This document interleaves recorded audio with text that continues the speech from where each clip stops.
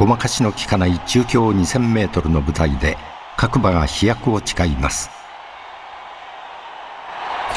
ゲートが開いた。まずまずのスタートかと思います。さあ何が行くのか。花を切ったのは8番バラギその外スーッとエアサージュが上がっていきました。ヤマニンサルバム。内を通ってスルスルとシーズンリッチが上がっていきました。そしていたいたドゥレッツァとルメールでありますノッキングポイント。そしてその後ろから新た6番両方レイク。4番プログノーシス。ワイドエンペラーがその後ろ12番白い馬体。早やっこ。そのうちに5番ブレイブロッカー。しんがりからレッドジェネシスであります。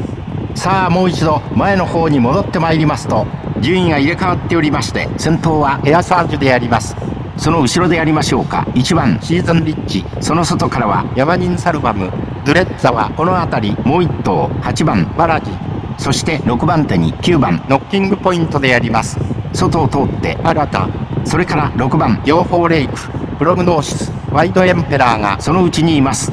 それからもう1頭。12番早やっこそのうちブレイブロッカー。一番後ろにレッドジェネシス。さあいよいよ第4コーナーから直線に入ってまいります。先頭行くオレンジの帽子はエアサージュ。間を割ってドレッツァ外からはヤマニンサルバム。抜けた抜けた。3番ドレッツァ懸命に手を動かして丸山とブレイブロッカー。このまま粘れるか？ドレッツァムチが飛んでいる。ヤマニンサルバム。プログノーシスが2番手。ドレッツァ1着。1番人気に見事応えました。